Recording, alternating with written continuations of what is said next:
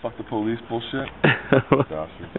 So what happened, Bunz? You gotta hurry up because I'm running out of battery Hey, I'm an innocent man. The motherfuckers got me. Threw me on the ground, beat me up. Fuck the police. I was framed.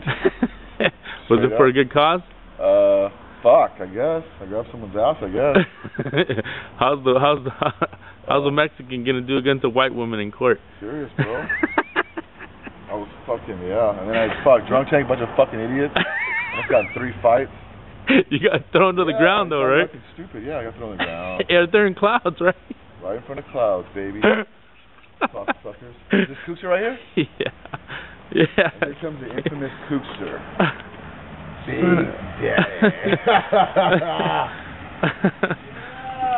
how we doing it, buddy?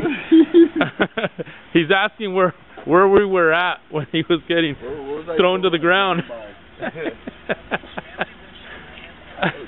Hey, do you need that gold gym pass? yeah, I'll take it then. I'll But go, it was I'll go there. fun. It was fun.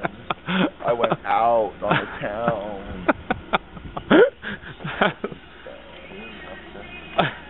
I was the one that fucking had me, and I was telling him, fuck, dude, I'm married to your fucking brother's sister, and all. I mean, all this bullshit.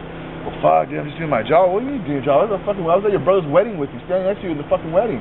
You're gonna be doing this shit to me? Well, fuck, I'm gonna make sure they drop all your charges. You're just gonna get drunk in public.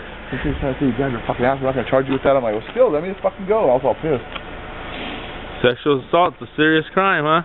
Sexual Oh, eruption. no. Sexual molestation.